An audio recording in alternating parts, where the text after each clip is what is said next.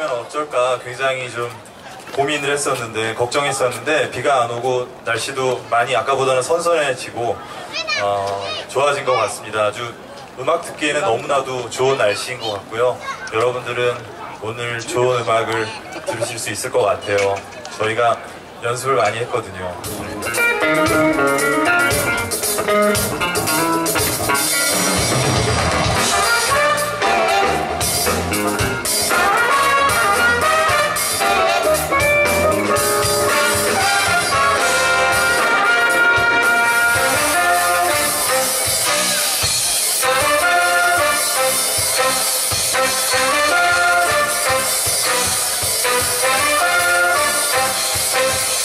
Thank you.